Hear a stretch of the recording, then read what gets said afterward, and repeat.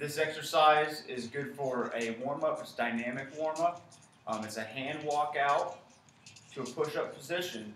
Then you'll walk your hands back in, and then you'll reach up over your head, stretch up your core and your lats. So this is how it's done.